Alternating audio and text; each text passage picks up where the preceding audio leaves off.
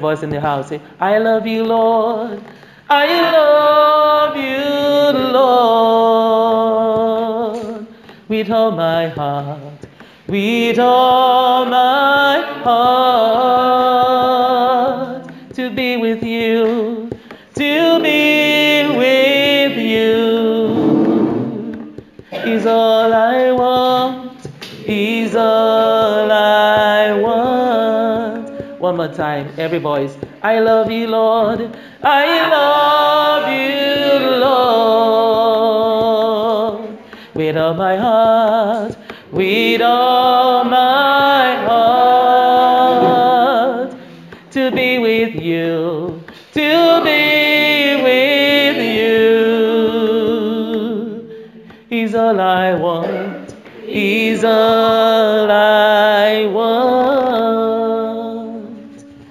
love you, Lord. We love you, our God. We love you, our King. We love you because you first loved us. We love you because you saved us. We love you because you gave your all for us. We love you because you put us first. We love you because of your everlasting love, your loving kindness towards us. We are grateful. We bless you, Lord. In Jesus' name. Hallelujah. Hallelujah. Please be seated in God's awesome, wonderful presence. Today we're looking at the theme Go Forward. That's the theme God has given unto us in the month of December. Go forward. By the special grace of God, we are moving forward into 2020. How many people are excited about that? Just wave at me. We're moving into 2020 and we're moving forward into it. And we're going to need assistance in moving forward. If you are in a vehicle, you would notice that it is a lot quicker to move forward in a car, or if you're comparing that with a bicycle, a car will move forward faster. And then, if you want to travel from here to Spain, for instance, and you wanted to go by car, you will discover that there's something that can take you there faster. It's a plane. So, a plane can move faster than a car. So, there are different modes of transportation that will enable us to go forward. You can use your legs. You can say, you know what, I want to keep fit. Maybe you want to make an attempt to walk from here to Spain. If you are alive by the time you get there, to be a miracle. You may say, I want to use a bicycle. You're still going to have to, you know, put in your own energy because you have to cycle those wheels. You can say, I want to go there by car. You have to drive the car yourself. You have to buy fuel in the car. You have to do all the various bits and bobs before your car can be fit to be on the road. Or you can say, you know what, I'm the smart one. I'll pay somebody else to do it for me. I'll go by plane. Which one do you prefer? Let me hear you. Because on the plane, you can be sleeping, you can be eating, you can be chatting with your friend, and yet you're still going forward to your desired destination. So tell me, how many people want to do the walking? Okay, they didn't come to church today. How many people want to ride on a bicycle to Spain? They didn't come to church either. How many people want to drive to Spain? How many people want to fly to Spain? Ah, some of you don't want to do anything. How many people want to fly to Spain? Okay. What is it like the plane or flight? Plane. I, I, that was why I took my time to do the description earlier on. Uh-huh. So, good students, you want to fly by plane, it's easier. You can even be sleeping. You know, somebody else is doing the work. So, there's so many ways of getting to our destination. Some are not so easy. Some you have to put in too much effort, and some you just glide. So, today we're going to look at the power to go forward. We all want to move forward, and we need power, we need assistance to be able to move forward. Luke 11 5 to 13. Luke 11 5 to 13. And he said unto them, Which of you have a friend, and shall go unto him at midnight and say unto him, Friend, lend me three loaves, for a friend of mine in his journey is come to me, and I have nothing set before him. And he from within shall answer and say, Trouble me not. The door is now shut, and my children are with me in bed. I cannot rise and give thee. I say unto you, though he will not rise and give him because he is his friend, yet because of his importunity, he will rise and give him as many as he needed. And I say unto you, ask, and it shall be given you. Seek, you will find.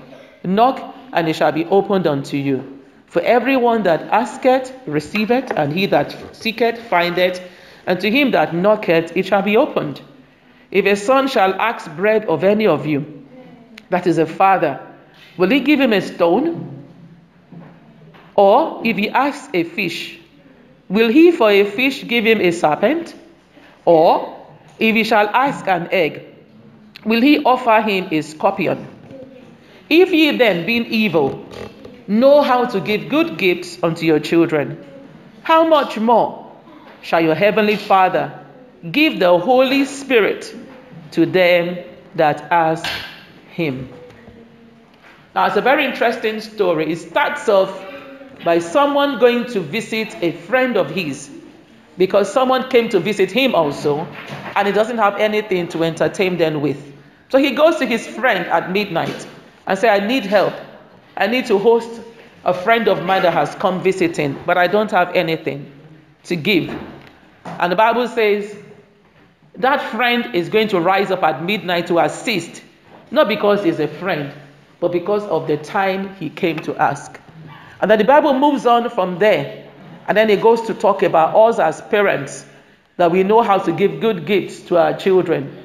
He says if they ask us, you know, for egg or for bread, we're not or for fish, we're not going to give them a serpent, we're not going to give them anything deadly. We're going to give them the thing they need.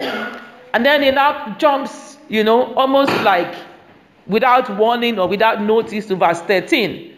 It says, If ye then being evil know how to give good gifts to your children, how much more shall your heavenly Father give the Holy Spirit to them that ask him? Where did that come into it? It's almost like Jesus said all of that to capture their attention, like I've said this morning. So I've, I've gone through all that whole text to capture your attention. And he's now saying, look, the one thing I'm asking for you to ask for is the Holy Spirit. Because the Holy Spirit is the one that will enable you. He's the one that's energizing you. He's the one that's empowering us. That's the role of the Holy Spirit. So Jesus Christ said all that he said before, just to capture the mind of the people that look, if you as parents know how to give good gifts to your children, if you as a good friend will rise up and help your friend when they come to you at midnight, and you're looking at the awkwardness of the time and you're saying, wow, they must be quite desperate. If we show such desperation and our friends rise up to give us, if our children have the need and we as parents rise up to meet that need, how much more our Heavenly Father will give up the Holy, give us too the Holy Spirit when we ask of Him. So the pointer here is not really so much to the friend who helps, or to the parent who performs the parental duty. This scripture is also really focusing our attention on the Holy Spirit. That the Holy Spirit is abundantly available to us. All we need to do is show our desperation. All we need to do is ask. And the Holy Spirit will empower us to go forward. He's the one that empowers the believers. He's a source of life for the believer. That's why the Bible refers to him as another helper, another comforter, the one who will teach, the one who will guide, the one who will instruct us so that we can move forward the way that we have to. Doesn't matter how big your vehicle is, doesn't matter how beautiful it is, doesn't matter how new your vehicle is. If there's no diesel in it or petrol in it, where is that car going to go? Nowhere. That car will go absolutely nowhere. It doesn't matter how big we are, it doesn't matter how strong we are. Without the Holy Spirit, also, we won't be able to go far. In fact, we won't be able, be able to even start, let alone go far. And my prayer is that God will empower us to go forward in the mighty name of Jesus. Praise the name of the Lord. So we are told to ask for the Holy Spirit because He's the driver, He's the one that knows where the pitfalls are. He's the one that knows where the right places are. He's the one that knows where the booby traps are. He's the one that knows where the quick route is. How many people use sat nav? You know, for those who drive, Waze, or you have your Tom Tom, the various things that we use. If you are going to a place you've never been before, try going there without any assistance. If you get there at all. You know, I remember once, several years ago, my husband and I, we wanted to go somewhere in Hackney. You will not believe it. We got to Hackney and then we drove round. I think we must have driven round for about an hour. We could not find the place. Guess what we did? We went back home. We could not find the house. We just could not, we, we, we could not find it. It was, we had to drive all the way back home. It was that bad. Who knows? Maybe if, we, if there was Waze in those days. All we had to do was just punching the postcode and it would take us straight to the right house. We could not find it. We were t- perambulating. After a while, we just thought, you know what, this is ridiculous. Let's just go back home. Maybe it is not meant to be. Therefore, we need assistance to get to where we're going. That was why I said that. So, the Holy Spirit, if you like, is the one that helps us to navigate our journey. So we can get there without fatigue, we can get there without burning out, we can get there without having to use too much energy. Too much energy without having to do all of that. Praise the name of the Lord. John 14 26. John 14 26, and I'm going to read it in the Amplified Version. It says, But the Comforter, in other words, the counselor, the helper, the intercessor, the advocate, the strengthener, the standby, the Holy Spirit, whom the Father will send in my name, in my place to represent me and to act on my behalf. He will teach you all things and he will cause you to recall. He will remind you, he will bring to your remembrance everything I have told you. Now, do you see why we have issues? The Holy Spirit is the one who will teach us. He's the one who will even remind us of the things that we ought to know or the things we have learned. He's the one who is our strengthener. That is why without him, moving forward is practically impossible. So let's look at those attributes one after the other. Counselor. Who is a counselor? A counselor is someone who gives you counsel and advice. And the Bible says, in the multitude of counsel, there is safety. You want to do a business, what do you do? You go and look for many people who have done it before. And then you seek advice from them. What shall I do? And then someone says, do this. And then you begin to compare and contrast the different advices that has been given to you. That is a multitude of counsel. And the Bible says there is safety. The Holy Spirit is a counselor. A counselor is someone who is especially licensed professionally, who treats people with mental, emotional, and behavioral disorders and problems. That's a counselor. You know, in the secular, that person is there to treat people, to counsel them, to guide them. A counselor could also be a person who advises students or others on personal problems and academic and occupational choice. So just picture the Holy Spirit. He's, he can guide you on the choices you ought to make, even academically, even maritally, even business, even economically. The Holy Spirit is there as a counselor. We're moving into 2020. I pray that we'll move forward gloriously and gallantly in Jesus' mighty name. Amen. Amen. Isaiah 9 6. Isaiah 9 6 says, For unto us a, ch- a child is born, and unto us a son is given, and the government shall be upon his shoulder. And his name shall be called Wonderful, Counselor, the Mighty God, the Everlasting Father. So even Jesus is regarded as a counselor. And we have another comforter who also takes the place of a counselor. You need the Holy Spirit. I need the Holy Spirit. We need the Holy Spirit to be our counselor. To be our counselor, to counsel us, to say, do this, don't do that. There's sometimes the, the, uh, a myriad of choices in front of you, and you don't know which one to pick. You'll say, Holy Spirit, please help me. Teach me what to pick. Just tell me what to pick. And you have a witness in your spirit, pick this one. And you pick it, and at the end of the day, you're rejoicing. Why? Because you listened to the voice of the counselor. My prayer is that as we're moving into the new year, we will all listen to the voice of the counselor who will tell us this is the way, walk therein. In Jesus' name. The Holy Spirit is the advocate, someone who argues our case. I don't know many of, how many of us watch all these um, crime, crime offenses and blah blah blah. I don't know if you've ever seen an, a, a, a lawyer argue a case that you thought was already lost. But the lawyer is so good, they've done their research, done their homework, and they're able to argue that case, and the person that you thought was going to be guilty comes out guilt free. The Holy Spirit is our advocate. Many of us won't even have a clue how to argue our case, let alone win it. But the Holy Spirit will argue your case. When the accuser of the brethren stands before God and says, You don't qualify, the Holy Spirit will stand as the advocate and say, Look, the blood of Jesus has washed that vessel. Amen. So he or she now qualifies. Oh, the devil says, Oh, she hasn't done anything to merit it. He hasn't done anything to merit it. The Holy Spirit says, Lord Jesus, look at the blood of Jesus. He is, is the advocate. He will argue our case. And we shall not be disappointed. He will intercede on our behalf.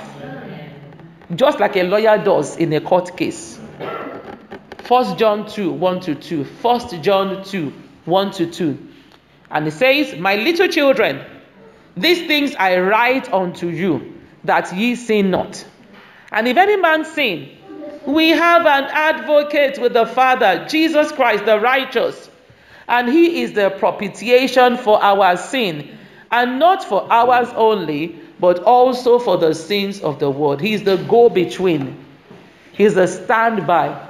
So, if you like, whatever role Jesus Christ plays as the advocate, the Holy Spirit, in whose dispensations we are in, now plays that role as the advocate who will speak on our behalf. The Bible says we don't even know how to pray, but it says the Holy Spirit intercedes, you know, through us with groanings that cannot be uttered. The Holy Spirit intercedes for us with groanings that cannot be uttered. So, brethren, go to the Holy Spirit and say, Please be my advocate. I always pray a prayer for myself. I say, God, be my voice where I have no voice. There's some quarters where you can't speak, but God can be your voice. God can speak for you and in, his role as the advocate so that you will be able to go forward. Another role that the Holy Spirit plays, He is the intercessor. Intercessor. A go between, similar role to the advocate. A negotiator, a link between two parties in order to reach a settlement. The one who mediates is similar to, the, to that role of a counselor. So, if, uh, by the time I'm speaking, you will see that some of them are almost intertwined. But he has the role of an intercessor. And the scripture I quoted earlier, Romans 8 26 to 27. Romans 8 26 to 27. Likewise, the Spirit also helpeth our infirmities. For we know not what we should pray for as we ought, but the Spirit itself maketh intercessions for us with groanings which cannot be uttered. And he that searcheth the heart knoweth what is in the mind of the Spirit, because he maketh intercessions for the saints according to the will of God. He makes intercessions for us. You know, you know what I like about the Holy Spirit? He not only tells us what to ask God, he also presents our case to God as well. Isn't it amazing? When you're praying in the Spirit, God, you know, the, the, the Holy Spirit is praying through us, targeted, accurate, you know, you know, if you like, I call it bullseye prayers. Straight to the point. Because he knows what's in the heart of the Father. He knows what's in our heart. And the two are, are, are joined together. Because the Holy Spirit is interceding for us. He's teaching us how to pray. And he's also standing in for us. Amazing. You need the Holy Spirit to go forward. And I pray that we will consult him, we will, we will, we will call upon him to be our intercessor, our advocate, our counselor. The Bible also calls him a helper. A helper. Maybe you want to pick up a piece of load. There's some load you can carry by yourself, but there's a lot you cannot do by yourself. You need a helper. And that's why when God created man, he said, it is, it is not good for man to be alone. He needs a helper, someone who will assist him in this assignment so that he will not fail. So he brought him a helper. In life, too, all of us need a helper. And the one helper that we have that will never disappoint us is the Holy Spirit. He will never fail us. The Bible calls him the helper. Jesus Christ said, I will send to you another helper. Someone who will aid us. Someone who will make things easy for us. Someone who will give us relief. Someone who will assist us. We have him as our helper. Don't go solo. Don't do it. There are places where you do DIY. There are many things where you do not do DIY. Just call upon the Holy Spirit and say, please be my helper. I need help. This year, I have called on the Holy Spirit on so many fronts. So many fronts. I tell you, and God has been amazing. On so many fronts, I would just say, Ah, Holy Spirit, oh, I have come. Holy Spirit, I have come again. That's how I would be I say, God, Holy Spirit, Holy Spirit, I have come again. Ah, I need help. I need your help. Please, please, please, please. Don't let me be put to shame. And they will rise up and they will sort me out. He's a helper. Hebrews 13, 5 to 6. Hebrews 13, 5 to 6. Let your conversation be without covetousness, and be content with such things as ye have. For he saith, I will never leave thee nor forsake thee, so that we may boldly say, The Lord is my helper, and I will not fear what man shall do unto me. The Holy Spirit is our helper. Jesus said it, I will send you another helper so that you do not need to fear what man can do to you because your helper will be on ground to support you. What else do we know as a role of the Holy Spirit in helping us to move forward? He's the strengthener. He's the one that will strengthen us. Brethren, I have enjoyed the strength of God. At my place of work, I was sharing with my colleague. I said, Oh, I think it was on Friday before I moved. I said, I'm moving house on Monday. He said, Moving house on Monday. You moving house? I said, Yes, I'm moving house. I said, Yeah, you moving? I said, Yes, I'm moving house on Monday. He said, But we didn't see any sign. They said, Because people have been saying it's one of the most stressful, one of the most. I said, To be honest with you, I don't even know where the strength came from. Because I will dash to work, go and view, dash back home, and view. Some places you view, and it's like, oh my God, why did I come? And I was, you know, driving all over, all over the place.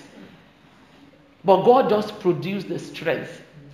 God produced strength. Still able to go to work, still able to do church, still able to do my home affairs, you know. God produces strength, brethren. He does. So when you're weak and tired, just say, Holy Spirit, I need strength.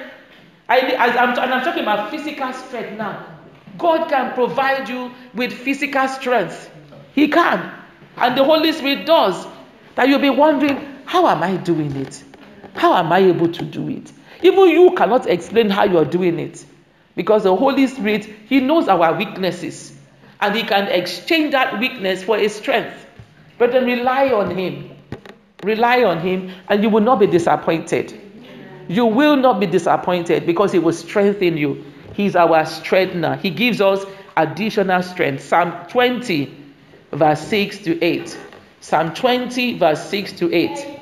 Now know I that the Lord saveth his anointed. Now know I that the Lord saveth his anointed. He will hear him from his holy heaven with the saving strength of his right hand. Some trust in chariots, some in horses, but we will remember the name of the Lord our God. They are brought down and are fallen, but we are risen and stand upright because of the strength of God. I can do all things through Christ that strengthens me. I can go forward through Christ that strengthens me. It is doable, it is possible, it is achievable. You can accomplish it, you can go forward. And I don't mean go forward as in just go forward physically. Go forward in every department of your life. You can't go forward. You can't make that extra, you know, progress, improvement upon every department of your life. If you can just hold on to the Holy Spirit as the counselor, the advocate, the intercessor, the helper, the strengthener, He's available. He says, if we human beings know how to give good gifts to our children, you know, many of us, our children, they woke up this morning, right? You took them to the bathroom, you, you gave them their bath, right? You gave them their breakfast, right? Did any one of those children come to you to beg you to do it? They said, Oh, mom, don't forget, I need to eat today. No, you just do it. And, and God says, if we as human beings who are not even perfect can do that, how much more, how much more our Heavenly Father will give the Holy Spirit to them that ask Him, please rise up to your feet.